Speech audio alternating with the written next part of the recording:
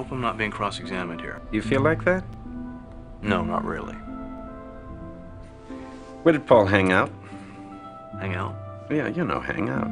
Let me think. Uh, the Newport, Harry's, Fluties, Indochine, Nell's, the Cornell Club, New York Yacht Club. He had a yacht? No, he just hung out there. And where did he go to school? Don't you know this?